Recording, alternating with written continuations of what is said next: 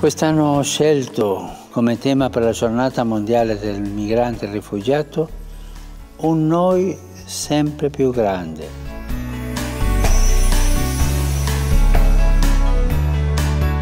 È un invito rivolto a tutti perché ci impegniamo a restaurare la nostra famiglia umana. Siamo come tanti granelli di sabbia, tutti diversi e unici, ma che insieme possono formare una spiaggia bellissima, una vera opera d'arte. I'm Bishop Mark Seitz, and I'm the Bishop of El Paso on the U.S. Mexico border. I grew up in a family of 10 children.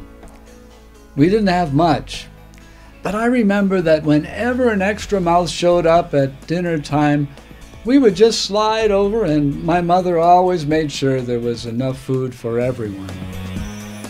Siamo tutti sulla stessa barca e siamo chiamati ad impegnarci affinché non ci siano più muri che ci separano, affinché non ci siano più gli altri, ma solo un noi, un noi grande come l'intera umanità. God always gives us what we need to welcome another person. It's not about us and them. I found the most rewarding opportunities of my life serving here at the border. I've learned that borders can be vibrant places of encounter and welcome, encounters that enrich us. I've learned that we are all interconnected as one human family. We stand or fall together. We build walls and fences which divide us. Today, people of faith need to be bridge builders. The Holy Spirit breaks down everything that separates us walls of poverty, indifference, and exclusion. Here at the border, and in every place of encounter with those on the margins, God is calling us to be a bridge people.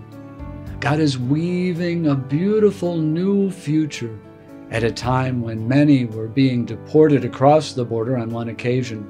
I felt called to cross the border to meet with families being expelled on the other side. I met an immigrant family fleeing assassination threats and death and then I accompanied them back to the international border to stand and witness while they sought asylum again.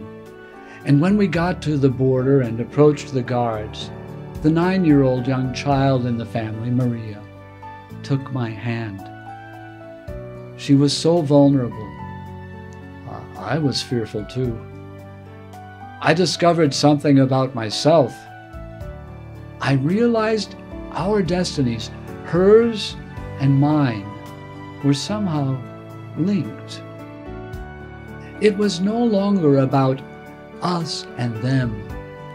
I felt the presence of God calling us to build a world where everyone has a place, a chance to flourish, to live with dignity. God calling us to build a world with a we as wide as humanity.